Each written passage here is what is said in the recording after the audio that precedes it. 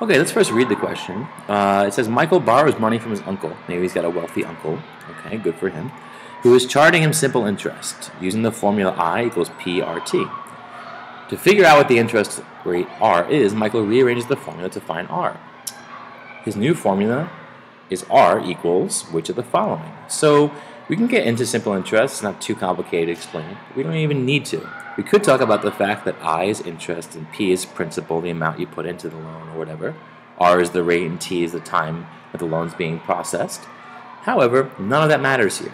This could be a nonsense equation. All they want us to do is to isolate R, get it all by itself. So if I look at this, I have P times R times T. And if I want to get R all by itself, all I have to do is divide by P and T. And this will get me R. P and T cancel out. They're just 1. And I divided by PT equals R. That's our answer. If you're not convinced of this, think of a simple number scenario. Let's say you have 2 times 3 times 4. What does that equal? 6 times 4 is 24. Well, structurally here, 3 is like my R, 2 is like my P, 3 is like my R, and 4 is like my T. So can I just divide by 2 and 4? Will that get me the correct answer, right?